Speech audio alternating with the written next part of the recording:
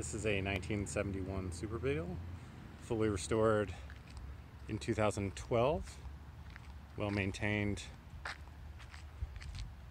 and cared for, always garaged.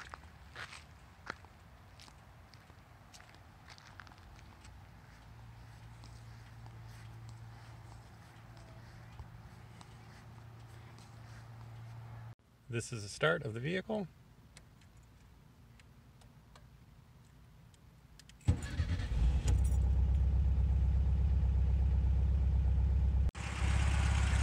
engine running.